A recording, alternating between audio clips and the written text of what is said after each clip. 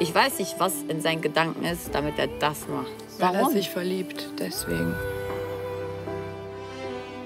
Wenn es seine Entscheidung sein sollte, mit der weiterzumachen, dann soll er sich verpissen, weil so, so ein brauche ich dann nicht.